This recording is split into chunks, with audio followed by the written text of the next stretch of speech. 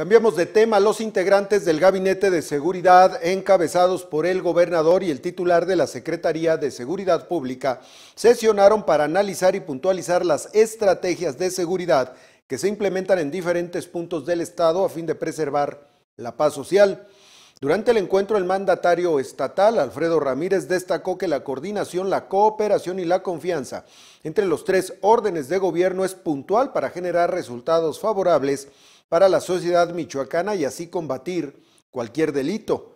El secretario de Seguridad Pública resaltó que la operatividad de la Policía Michoacán en la capital del estado ha incrementado, lo que ha permitido obtener resultados favorables.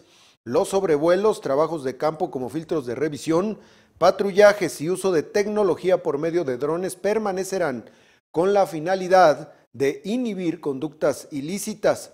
En la mesa de trabajo también se puntualizó que la incidencia delictiva en varios delitos como el robo en sus, diversas modalidades va a la baja, pero las labores no cesan por parte de las autoridades, mismas que hacen frente a los retos diarios para generar tranquilidad en Michoacán y sus zonas limítrofes con otras entidades.